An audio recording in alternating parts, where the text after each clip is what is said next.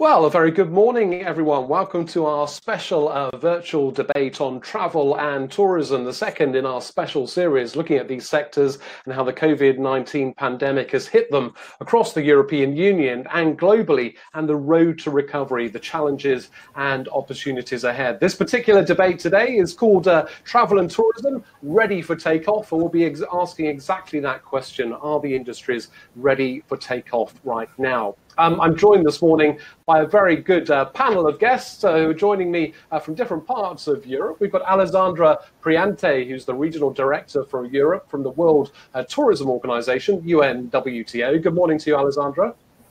Good morning. Thank you very much indeed for joining us. We also have Mikko Turtiainen, hope I got your name correct there, Vice President of Market Management at Finnair, the airline, and he joins us from Helsinki this morning, close to Helsinki Airport, I believe. Very close. Hey, good morning, everyone. Good to see you.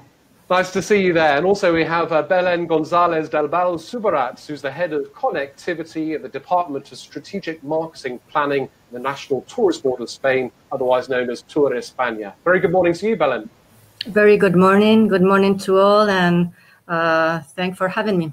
No problem at all. Nice to see you there. So, thank you to you also, our audience, for joining us on this uh, live debate this morning. If you have any questions for any of our panel, just leave them in the comments box uh, below the video where you're watching this live debate, and I'll put as many of those questions as possible to our panel this morning. We've also had lots of questions in on our social media channels, including Instagram, so I'll be getting around to some of those as well today during this debate. So we're coming together at an interesting time, aren't we, for the travel and tourism sectors in Europe and globally. Over the past couple of weeks, we've seen some airlines restarting some flights to European uh, destinations, and we've also seen some destinations ramping up their efforts to welcome back tourists. Uh, in terms of EU borders, we've seen some EU borders easing their restrictions within the European Union. And this week, we're hoping and uh, we're expecting that uh, the EU's uh, external borders will be open to some extent. So they've been locked in talks in Brussels over the past few days about opening the external borders. But there's still a few questions over which countries will be allowed to kind of connect with the EU in the future. So there's lots to talk about this morning. So without further ado, let's uh, first of all turn to you, Alessandra from the UNWTO. I think it's fair to say that the COVID 19 pandemic has had a massive hit on the travel and tourism sectors in Europe, unprecedented, really. Hey, um, just give us some of the research and some of the headlines of the figures that you've got about the impact. Well, thanks a lot, Damon. Yeah, you're right. It was really a big hit. And uh, the thing is, nobody was really expecting it because uh, in the beginning, you know, at UNWTO, we have a long tradition of observing, of course, uh, the phenomenon of tourism and the phenomena of travel and tourism connected uh, for a long time. And in the beginning, we all thought it was something very similar to SARS, because in the beginning, everyone was still focused on China. So uh, with SARS, we had forecasted, and uh, I mean, we had then evaluated that the impact was soon, uh, let's say, uh, compensated by the fact that nothing was really happening in the rest of the world. This time, when we realized that everything happened in Europe, within Europe, then the problem, you know, really struck us. And we started realizing, of course, with the travel restrictions being implemented in 90% of the of the destinations, obviously there's absolutely no tourism. So I'll be, um, I'm very happy to share some of our uh, very, very recent data we just uh, released yeah. our analysis. Uh, if we can see the first slide, uh, our analysis coming from the barometer, which our TMIC department takes care of.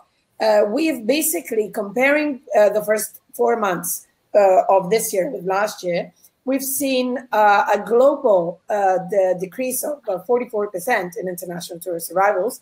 And as you can see, the 44 is actually, you know, exactly embedded in what happened in Europe.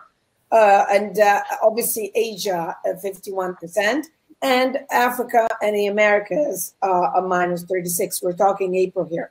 Of course, we're all seeing the uh, the evolution of the pandemic, and the evolution of the pandemic is going to have an impact on this as well. Nevertheless, if we can see the next slide, the way that we've analyzed this uh, phenomenon is actually to uh, elaborate on how the international tourist arrivals uh, uh, evolution was going to take place depending on the restart of tourism. Obviously, we're now confronted with the fact that tomorrow, 1st of July, the international borders of Schengen are going to be uh, open, not for every every country, but for the majority, let's say. And so we're looking at the better scenario that we had at the time forecasted three possible impacts based on the fact that we reopened on July, in September, or in December. When we're looking at the best scenario, which means opening tomorrow, we're looking at a forecast of a, of a decrease of 58% in international, global international arrivals. Obviously, not just focused on Europe. Uh, and honestly, this is definitely the best scenario because if we can see the next slide, please, uh, we have done uh, very, let's say, strong numbers uh, evaluation of what the impact is going to be economically and uh, mainly on the occupation side. So we're talking about uh, the potential impact of 850 million to 1.1 billion uh, fewer international arrivals and mainly uh, uh, 100 to 120 million direct tourism jobs at risk, let alone the exports. So we're now looking at the better scenario. So I would like to drop in some hope because we need to as well, Damon, restore some confidence if we want to, you know, rebuild travel and tourism, it is really all about that at the moment. And numbers are definitely important because they allow us to understand the phenomenon, but then we need to make the step further.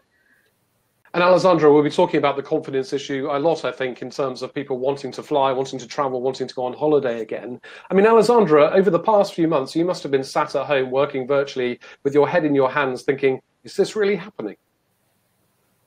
Well, yeah, imagine. I uh, recently joined UNWTO. Uh, so lucky. I started my uh, job in November. And so it just took me, I started, then I immediately started traveling because in UNWTO, when we're uh, directing uh, regions, normally we travel a lot. And so literally this began. So I, you know, spoke to my family and I said, look, there's two things here. Either uh, this is definitely karma that I'm in the United Nations where we really need to help the rest of the world, or I'm very unlucky. So I'd rather go for the first one because I tend to be kind of kind of a, positive person. Okay, Alessandra, for now, thanks for that. Uh, Belen, if I can just go over to you in Madrid at the uh, National Tourist Board of Spain. Obviously, there have been a few countries in Europe that have been particularly badly hit by the COVID 19 pandemic Italy, uh, France, the UK, where I am now, but of course, Spain as well. Um, this really has taken its toll on Spain, hasn't it? What's been the impact there to this day on tourism and travel right now? Um, yes, uh, well, Spain is um, leader, world leader in tourism. Um, uh, tourism is uh, 14% of GDP and of employment as well. And there are other subsectors that benefit from uh, tourism activity. Uh, just think about um, energy supply, water supply, uh, communications, food and beverages, and many others. So uh, yes, it has been a very, uh, very hard uh, blow. Um, you know that Spain is also the first uh, country in the competitive index since 2015 because we have a strong sector very, very professional industry behind. So uh, we definitely need to go back. There, here there are some numbers. For example, April 2019, it was uh, like uh, 7 million, more than 7 million travelers from abroad coming to Spain. Uh, it was more than 5% uh, uh, higher than year over year. April 2020, zero. Wow. Zero. So from 7 million to zero. Yes, in the month of April. Now, if we are talking about the four months, uh, it was almost more than 20, uh, 22 million travelers coming. It was more than 4% higher than the four months uh, in 2018. And in terms of uh, traveling expanding, uh, April 2019, it was um, let's see, it was seven billion euros. Right. Uh, just in April, and April 2020, zero. So we really need back to be back uh, on business. Uh, that said, our main concern is the safety. We want to all the travelers to be confident, to be comfortable with the idea of traveling, not just to Spain, but to every place, right? Because it's a big industry uh, worldwide. So, um, if I may go forward, uh, move forward to our plans, we made a recovery plan that it's like a, uh, with a holistic approach. So, uh, we based uh, the plan in four main lines of action. First one is uh, health and safety, because as I have said, it's our main concern. So uh, we have worked in a, um, a safe tourism certified uh, seal. Um, what does that mean? Yeah, this means that we have worked in uh, uh safety protocols and measures to be uh, put in place by the different uh, uh, players in the industry. So, if I was, for example, a tourist coming into Spain, what what difference would I see, and how would I be reassured by that protocol as you describe it? Uh, yes, well, there are some protocols in the airport. Uh, for example, uh, you have to to follow some um, some requirements and then uh, speaking in the, for example, in accommodations or in the um, restaurants or so, uh, there are some uh, things that they have to, there have been some revamping in the uh, public spaces. So to allow to have the social distances, they have been installing barriers and up stepping, stepping up sanitization and uh, they have to follow all the protocols just in case something happens. So we can detect it and uh, do whatever it's needed to do. Uh, okay. So we have made our home uh, our homework in that uh, matter. So uh, it's important because it's very important for us that the traveler feel that he's safe, and also the local citizens.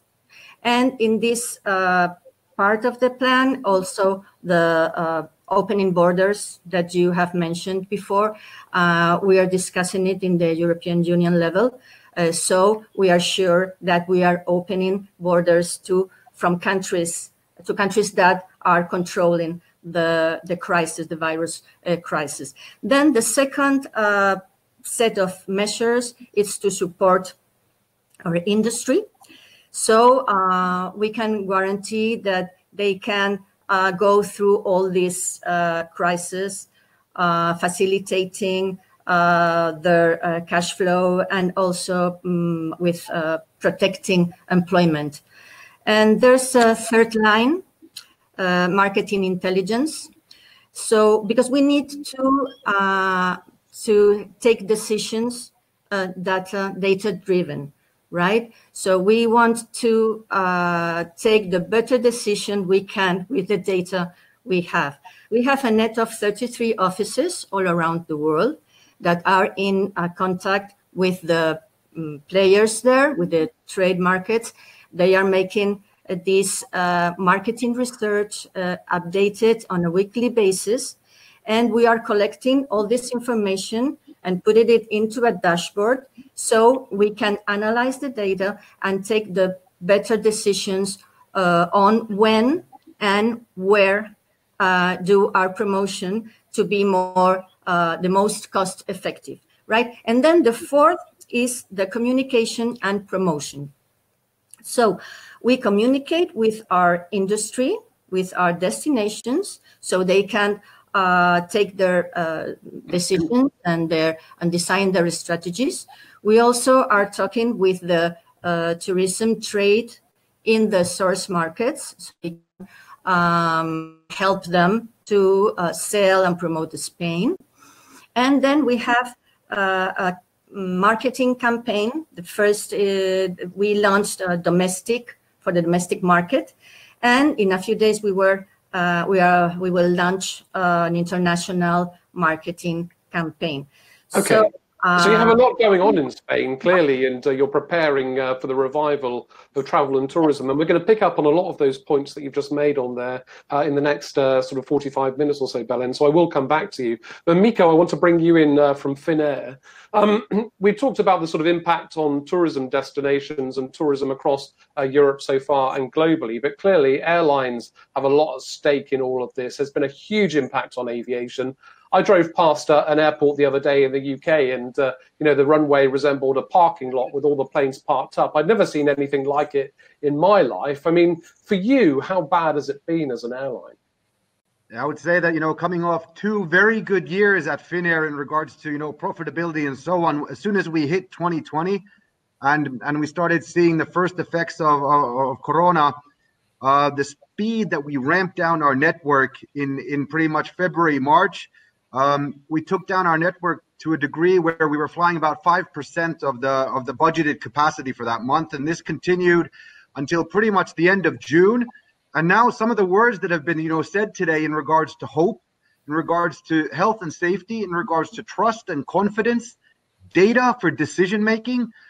Um, I'm happy to say that uh, that as of the first of July, we're actually starting our ramp up session so Q2 financially, it was horrible for us. We were making 2 million euros a day loss. And now with Europe starting to open, having some signals that that that society is opening up, uh, we are hoping that that this is truly the signals that the ramp up is is is, is the kind of the, the time to start it up and we have uh, about 30 25 to 30 percent of our originally budgeted capacity, it's going to be in the air in July. So that's the level of our ramp up. And uh, looking at next winter, we're aiming at about 70% of that original amount of flying for the winter season. So in that sense, uh, you know, it's a lot about building trust now and getting the message out in regards to what kind of network we do have.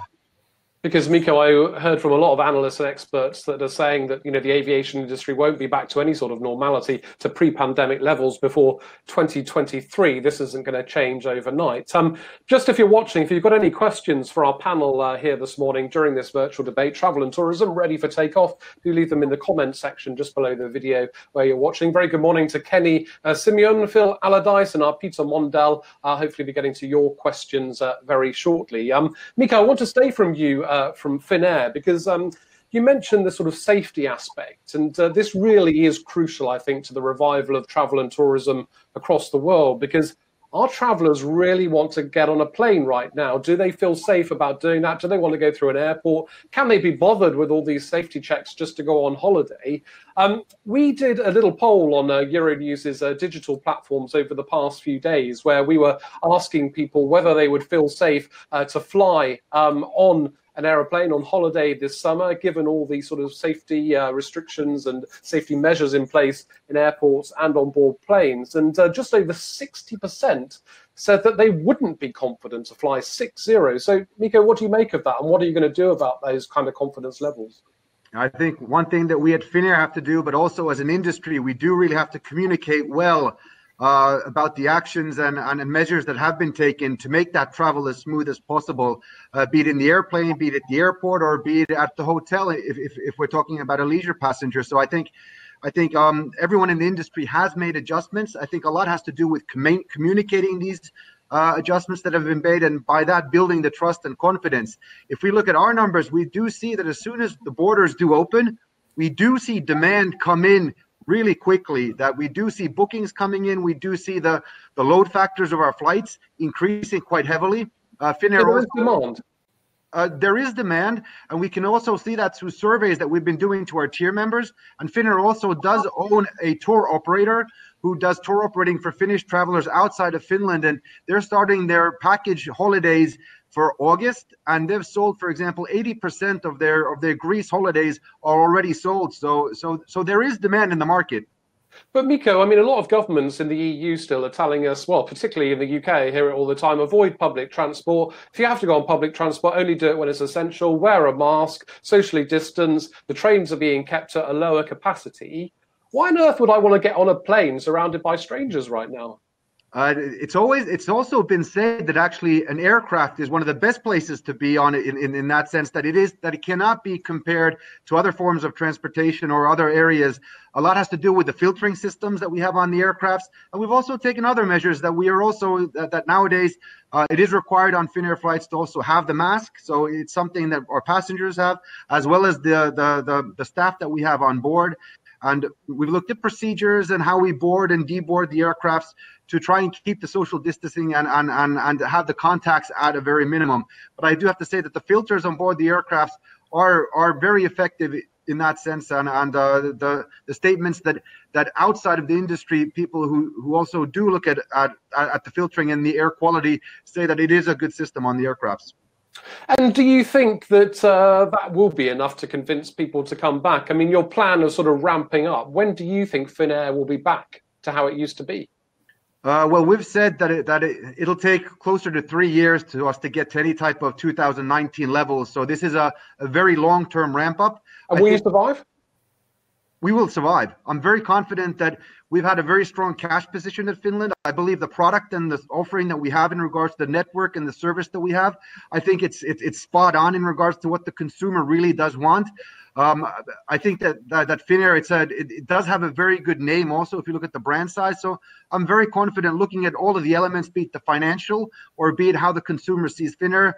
I'm very confident that we will survive and we will continue to to hook up Europe with Asia as well as make Lapland and Finland a place for for those who who desire Finland and Scandinavia. Okay, Mikko from Finnair, thanks very much indeed for now. Alessandra, if I can go back to you at the World Tourism Organization, UNWTO. Clearly, safety and confidence are the big issues of the day right now in terms of restarting the engines of travel and tourism. I mean, how much fun is it really going to be to go on holiday this summer if you're subjected to all of these rules and restrictions and you're constantly worrying whether the person next to you has got coronavirus?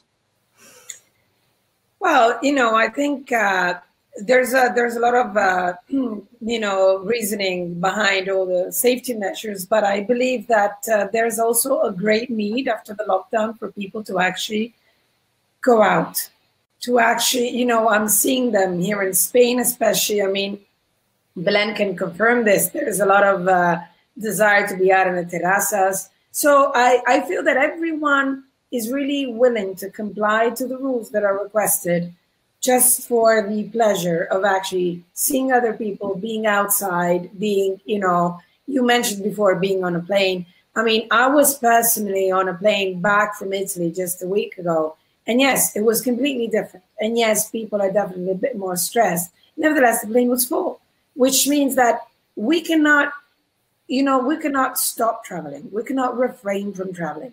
To me, actually Damon, and this is what uh, where I would like also to challenge my uh, our honorable panelists, fellow panelists today, and yourself as well, maybe the audience, is when we're rebuilding confidence, we're really talking about, you know, bringing back the trust for the unknown. You mentioned, you know, I might be sitting next to someone who is infected. Reality is, tourism is very much, when it comes to feelings, when it comes to emotions, very much about trusting the unknown. Is like many of us, when we pick a place where we go, we want to go where we haven't been before, for example, which means meeting new people, seeing new places. So being sort of exposed to the risk of a new thing. I think this is a major shift because in reality, during coronavirus and the lockdown, we've learned that we should also we should only trust the people that are around us. Sometimes not so much because I've heard stories of husbands coming back with coronavirus, you know, things happening you don't want to know. But you know, reality is is bringing back that type of trust. Is tourism has that openness, which is very very uh, cultural and emotional as well. So that is to me the biggest challenge. How is Europe working together to try and revive travel and tourism? Because I guess for some countries it's going to be tougher than for others. So, for example, for the UK, which I was reading uh, in research coming out yesterday, that it's gone down to the bottom of the top 10 uh, book destinations uh, at the moment. And then there are countries, obviously, as well, like Spain and Italy and France, that were badly affected by this pandemic. And there are still cases of coronavirus in those countries. Do you think some countries are going to have a harder job ahead than others to convince travelers to come back?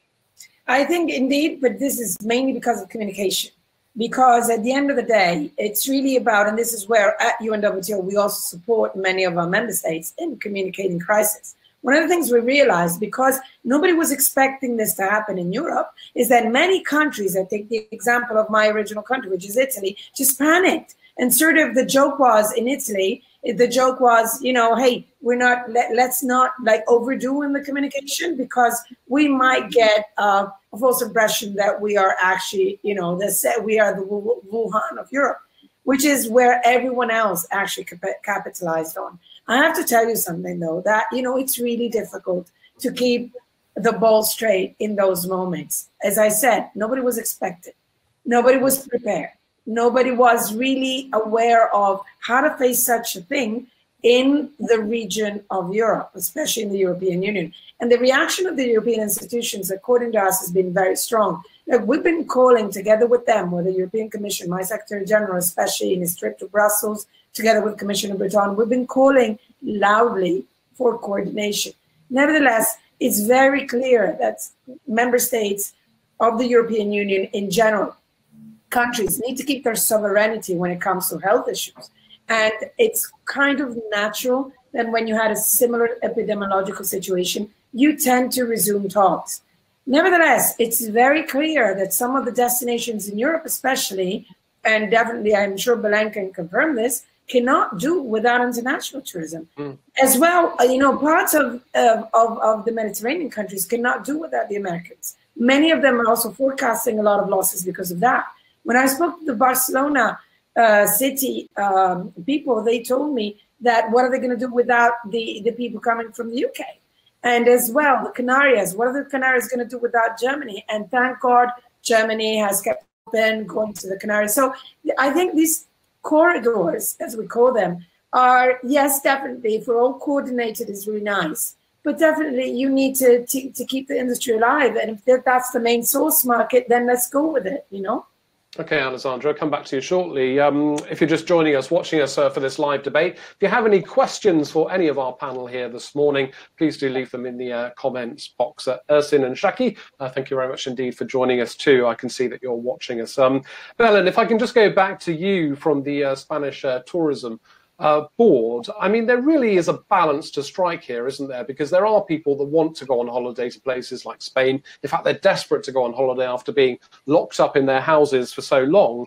But then there are also the critics that will say that you're putting money, tourism, revenues, people's jobs ahead of health. I mean, what did you say to those people? Um, well, I would say that uh, it's not a short term approach. We are a very, uh, our, our tourism sector, our tourism economy is very important. And uh, we can't look in the short term, we have to look to the longer term. We have to, um, I would say that uh, if we fail now, we will be out of the market, and we don't want that, right? So our main concern now, we, yes, we have to have this balance, but our main concern now is that people feel that it is safe to come back and feel comfortable. Whenever they feel confident enough. So we are ready when the travelers are ready, right? And and what on the discussion about the readiness uh, as well.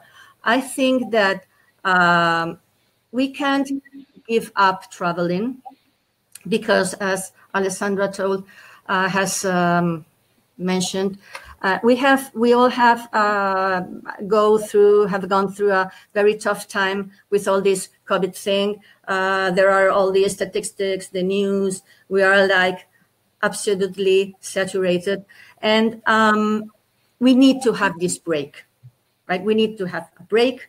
We need to put all these problems, COVID problems aside. Uh, we need to relax. And we need to, what we say in Spain, recharge batteries, right? Because when we come back, there will be a lot of work to do to raise our lives again and to raise our countries. That said, we need to travel uh, in a safe way, but also in a comfortable way. So I would uh, open here a discussion because uh, we're talking about recovery, but we also have to think farther.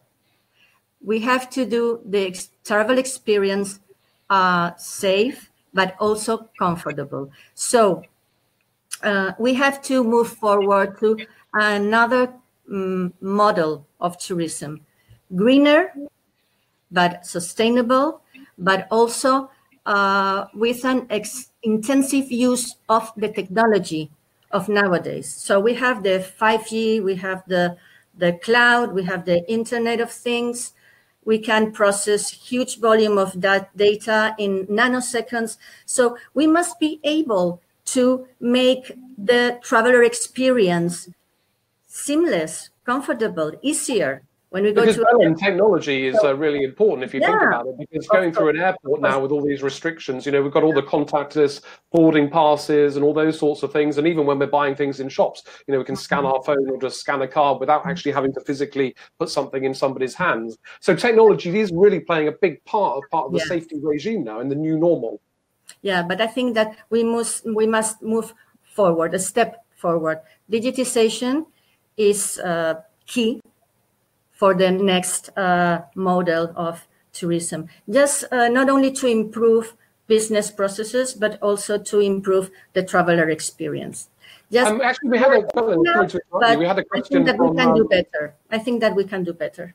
Okay, we just had a question from one of our audience, uh, Eva Zubek, um, who was saying, you know, you were talking about the future face of uh, tourism and the long-term future. This uh, Eva is saying, do you think this pandemic will change tourism in Europe forever? You kind of seem to accept that it probably will change tourism forever. For me, Yes. Ah, I I think uh, yes, it will change uh, tourism for better, really. But we have to rethink. We have to go to, to to think. We have to be creative, and we have to be innovative, and and we can think about doing the things as we've done uh, 20 years ago or as we did 20 years ago. We have to think about another kind of experience and use all this technology, but without losing the essence of tourism, which is the human contact, the human interaction. Because, you know, uh, traveling is part of our lives, it's, it, it's part of our own journey, it's part of who we are, and we can't give it up. We can't give up traveling. I'd love to Um, throw a, a, a comment on, on, on this that even if we go before Corona, a lot of discussion was you know discussed around you know mass tourism in general and and, and how this is to you know be looked at. Here in Finland, we've also you know it, it's been a niche when you look at kind of you know tourism and and, and very nature oriented You have some kind of a these magical you know the, the northern lights that you can see during the winter time and how is that consumer behavior going to develop over this kind of period that where do they want to go? Will they want to go to the mass destinations, or will or will they look for an option that is maybe a bit more focusing on how would I call it, less densely, more sparse, you know, where where there's room to roam to a degree that that I think this is something that we'll start to see, especially considering next summer and how that how that how that tourism really picks up in regards to next next summer. How will the cruise line business? What is that kind of desire of that consumer?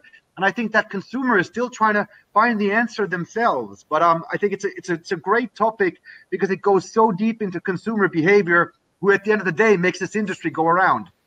And Mikko from Finnair, that's an important point you make there about the sort of changing consumer attitudes, behaviours in the travel and tourism sectors in the future. Because surely there's a risk there, isn't there, for an airline like yours on two counts? People may not want to go on holiday so far away in the future. They may be thinking, actually, I've discovered some nice things in my own country. I'm going to stay here uh, for the next few years. And also business travellers, which I know are a big part of your market as well. Um, you know, with the likes of Zoom and Skype and every other video platform you can talk about, people have learned now that actually uh, remote working does work and people aren't so skeptical about it. So, you know, you are facing an uncertain future in that sense as well, no? Uh, I think someone, I think it was Alessandra mentioned us going into the unknown. And to a degree we are, but I do believe that that even during this time, I have heard a lot about that that face-to-face contact. This is where you know where you truly meet the people, and and I do believe that that that we are kind of we're social animals, And we will want to continue to meet people, be it family, friends, be it in business. This is where you also build the trust in regards to business. Um, but I, but I agree, it will change. The patterns will change, but I don't. But it's not going to disappear. That that I'm pretty confident on. Okay, thank you very much indeed, Mikko from Finnair, for that. Uh, Alessandra, if we can just go back to you in Madrid at the UN uh, WTO. So we talked about sort of changing consumer behaviour. We talked about this new uh, sort of safety regime, this new normal, and the sort of short and long term futures.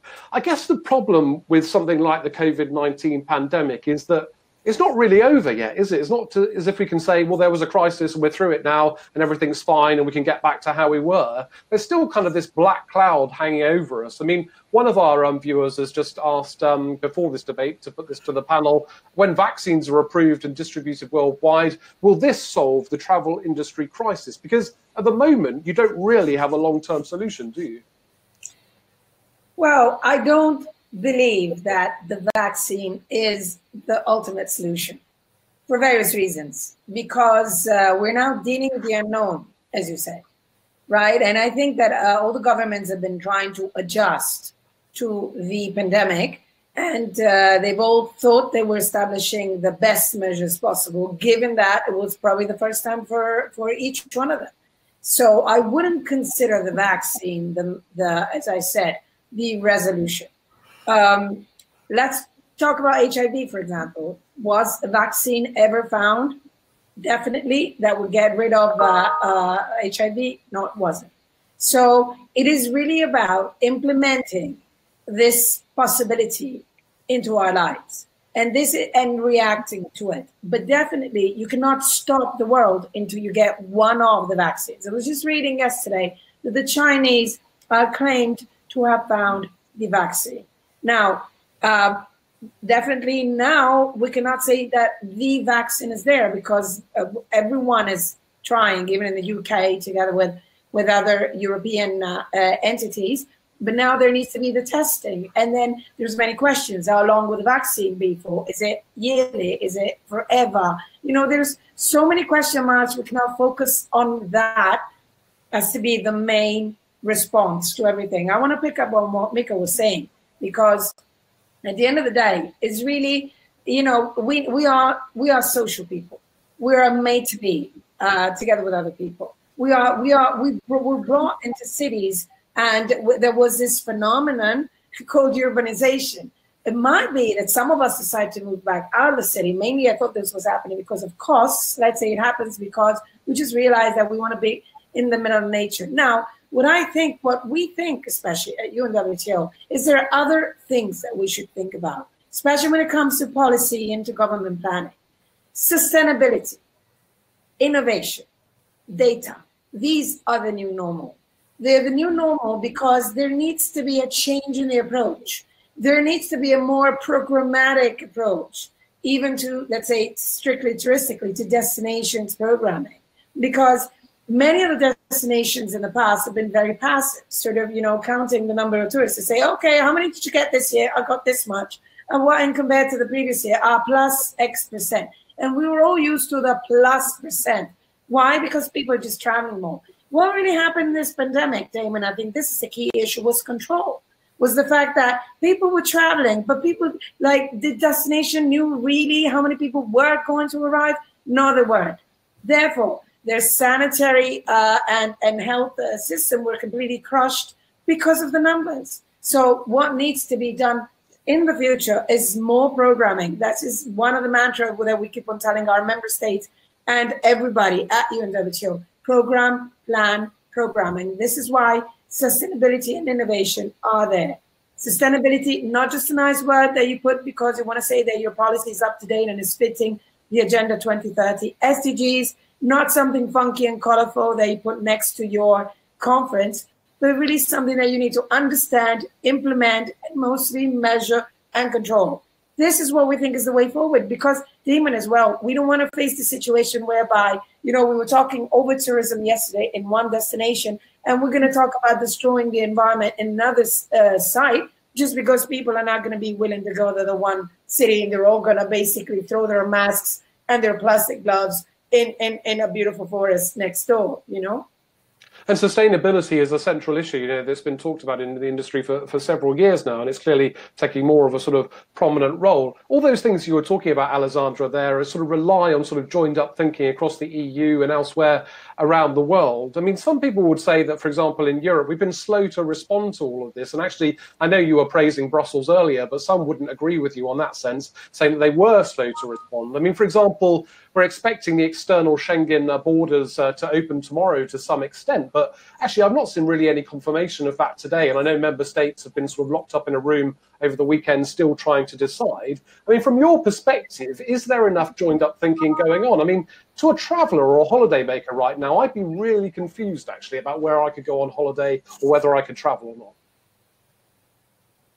Well, I mean, it's it's. Can I tell you something? It's really really easy to you know sit behind our computers and you know and in our house with our family next door and just complaining. As I said before, you know, definitely there could have been a different type of response. I yeah. personally think, and I'm not defending anybody here. I just personally, genuinely think that it was a very difficult situation, and each one of the member states did their best to react upon their own situation.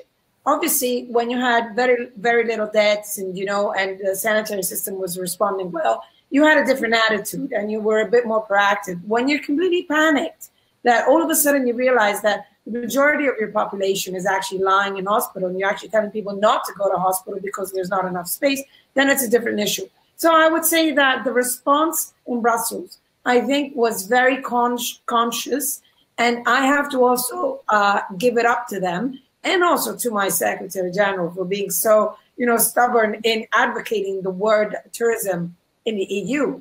I would like to also call upon Mikko and Belen on this. Do you recall the European Commission talking so much about tourism as it did lately? Maybe, yes, it was for the, let's say, for the negative bit. But now, all of a sudden, you had a commissioner who said, oh my God, tourism is the main industry, at least in the European Union. So, Belen, do you think the, the EU's been doing enough? Sorry? Belen, in, uh, do you think the EU has been, do, been doing enough, just to come back on Alessandra's point there? Do you feel like you're part of a family that's tackling I, this together? I think that it's a very complex uh, situation. Uncertainty, it's, uh, the context is a lot of very, very uncertain. And I, it gives me, I feel safe when when all the um, member states are uh, working so hard. And it's not a problem for me if it's taking uh, some time or more time that we think. I think that's a good thing because uh, then it's it's the it means that they are going thoroughly through all the all the issues and putting all together. So I don't think that's a bad thing necessarily. Uh, okay. I think that uh, it, it's a good thing that they are locked, locked and, and discussing and taking everything into account. It uh, for me, it it's uh, it makes me feel safe and more confident. Okay, Bella, thanks for that. Mikko, um, at Finnair, I mean, as an airline, obviously, you know, you've been in the spotlight in the European Union about the kind of support that maybe you should get. I mean, some people are critical of governments bailing out airlines like yours. Um, they say it's not right. Others saying that it should happen because actually you're a central part of connectivity, business, and social perspectives in Europe. I mean, do you feel like you're part of a bigger family that's helping to get through this storm? I mean, I would still kind of, you know, touch the topic in re, in in regards to the the EU. I think, you know, I agree with Alessandra that the topic is one that's been discussed a lot, and and, and you hear a lot about tourism in, in Brussels as well as in the in the in the in the individual EU countries. Um, but I, I think one area, if you look at this through the eyes of the consumer and, and, and that future traveler, I think they're the ones who are still finding confusion in regards to can I travel or can I can I not travel? If it's uh, you know what's the basis if i am allowed to travel? And i think this communication is, is, is difficult with let's say you know finland saying you can now travel to a country in the eu um, does that country also allow the finnish tourists to come? So it has to be both ways. And i think this is where there are still struggles in the in the in the marketplaces in regards to kind of we need to clarify that confusion and make it easier for them to to understand. To go into Damon's, you know, topic, I think that in this time, you know, Finnair, we had a very strong financial situation hitting the corona with with with you know strong finances. Uh, like I mentioned, this has been a tough year. Two mil, two two million a day losses during Q2, and uh, going forward, we are confident there. We have raised money through the rights. Uh, so, so looking at the shares and the ownership of Finnair, we've also taken out loans. So, so kind of gone to the marketplace to see to, to, to kind of strengthen the, the financials going forward. But um, in that sense, I think you know the market environment needs needs to work, and and and uh, and uh, then then you know there are different areas where funding can be found. Okay, Mikko. I mean, just going back to that point you were making a moment ago about the sort of confusion on the sort of travellers from a traveller's perspective, there is a lot of confusion out there about where you can travel right now, whether you're going to face restrictions on borders, health and safety, or what have you. I know that the EU has recognised that, and it's actually set up a special website, hasn't it, called Reopen EU, and you can go on there and sort of pick out each different country and find out what the restrictions are. But Mikko, this raises another question, I think, about sort of confidence that uh, travellers and passengers have. This big issue, right? Right, of booking tickets. And what's going to happen if I book a ticket, then I can't travel, or I'm away somewhere, and then there's a lockdown and I can't get back? There's been a whole sort of um, controversy around getting refunds, getting money back um, from various different airlines. And what are you doing at Finnair? To kind of reassure passengers about that, because that could be a big block for you, couldn't it, to getting more passengers flying in the future? This goes back to the trust. This goes back to the openness and and and and what do you want to give as a as a customer proposition? I would say that we at Finnair, and I'm very happy and proud to be at Finnair because I can say that we have been transparent and we have been open in regards to our messages to the to the passengers and, and, and to the consumers. In regards to refunds, I would say that we're top of the class if you look at globally who is giving refunds. Uh, we're very open in the sense that the customer can choose themselves that do you want a refund or do you want a, a, a, a voucher? If you look in the industry, you can see so a lot of offering a voucher, as some have complained about. Yeah, and, and what about know, But generally, people have complained they've just been offered a voucher rather than money.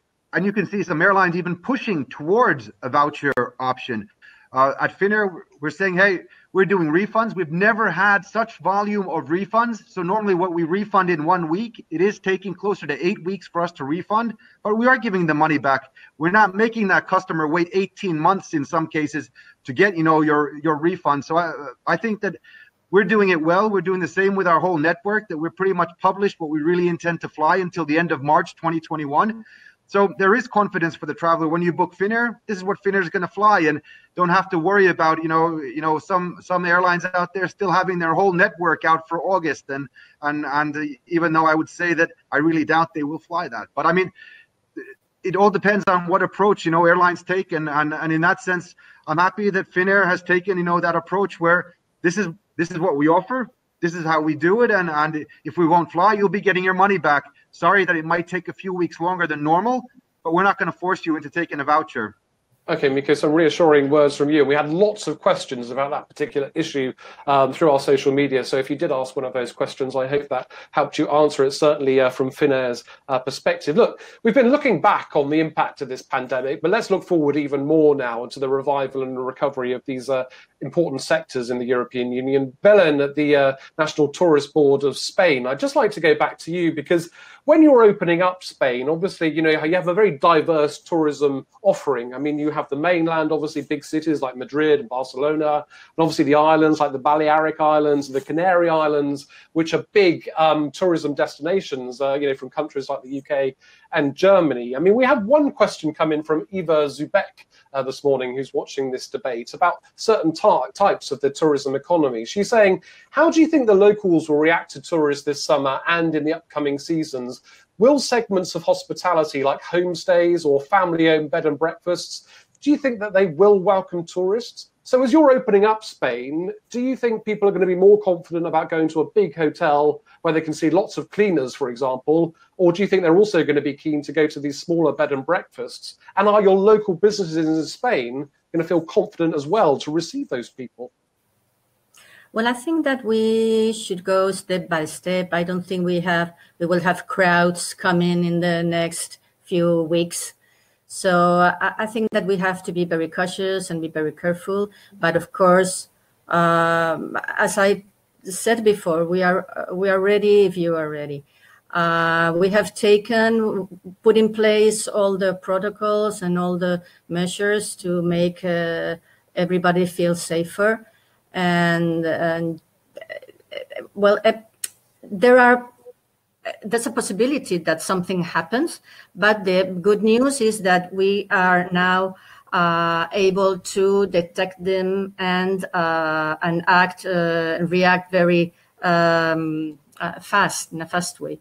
So uh, I would not have uh, fear to come. We are ready, but of course, if you are ready, if you feel confident enough, I think yes, we will uh, come back, uh, uh welcome uh, people come in because well, it's it's in our DNA. Spaniards are very uh, um, very warm people. And, and but it's a two-way thing, isn't it? We've yeah. mentioned this. Actually, you want tourists to come back, but also the Spanish people have to feel happy about getting those tourists coming back.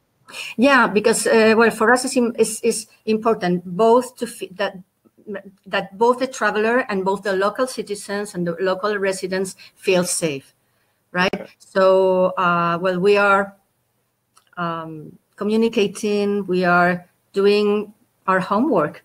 Uh, really, we are doing. People have to, to to know that we are doing everything we can to keep people healthy and safe. Of course, there's a, also an individual responsibility, right? So we are all in this together. No, it's not just the destinations or the industry responsibility.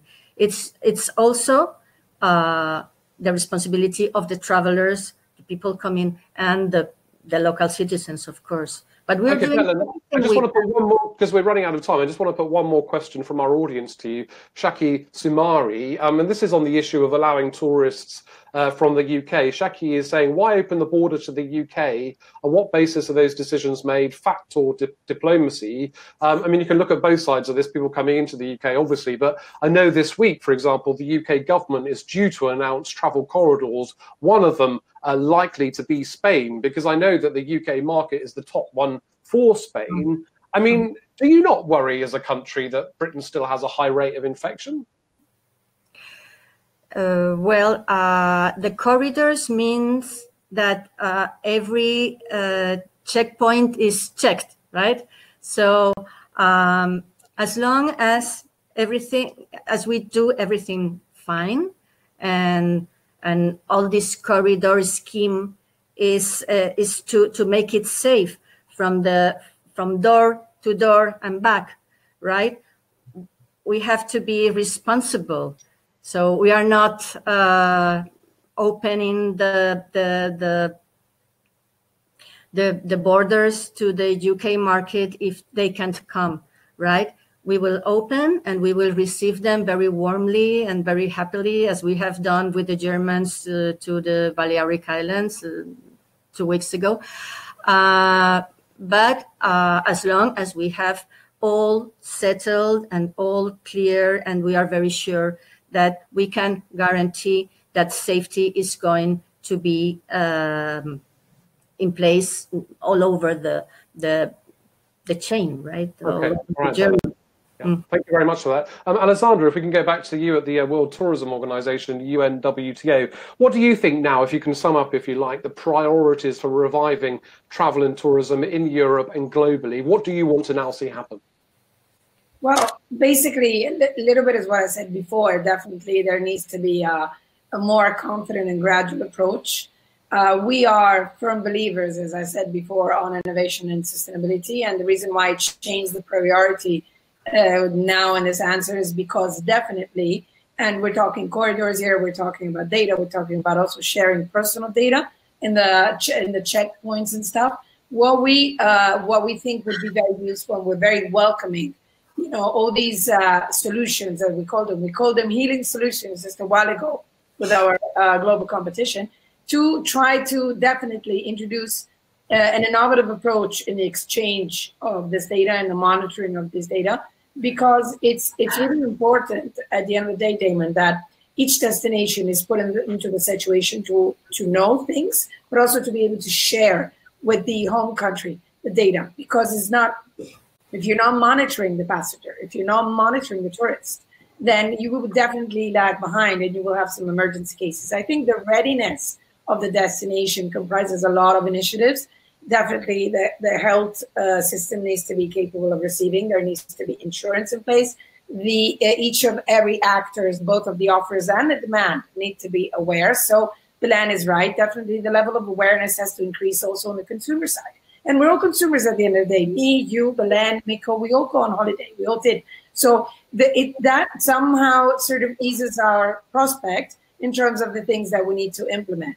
But also, let me let me just add that uh, we are now, if if I may, Damon, we are going tomorrow, on the first of July, on a very symbolic trip to uh, restart tourism in Italy.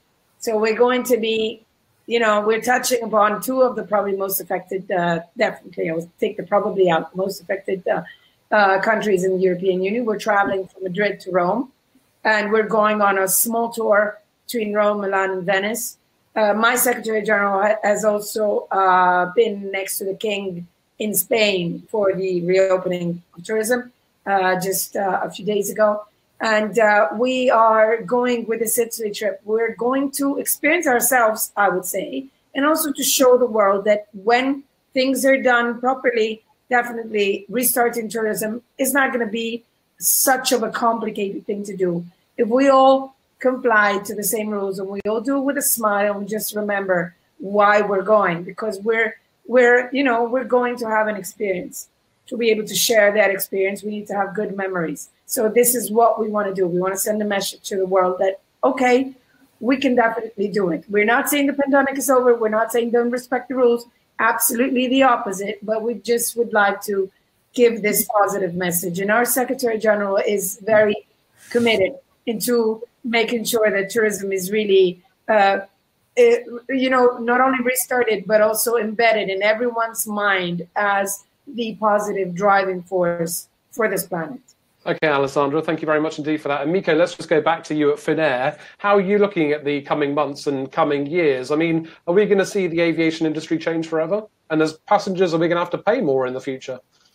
Uh, great questions, and I wish I had the answers to these unknowns. Um, I think we'll see, but like I mentioned, I th- we're we're confident. Uh, I think you know the main goals for us is is, is to get rid of the confusion, build the trust, and, and have borders opening in a responsible fashion. And I think then the, the market is open. Let those who can who can who can survive, let them survive, and and, and you know let competition let competition you know be there. So so um, I take that kind of you know view on the on on, on going forward. But in the you know in the sense of Finland, Finnair uh, I think we have a you know a, a great offering, and, and, and I'm sure this offering will also be there in the future.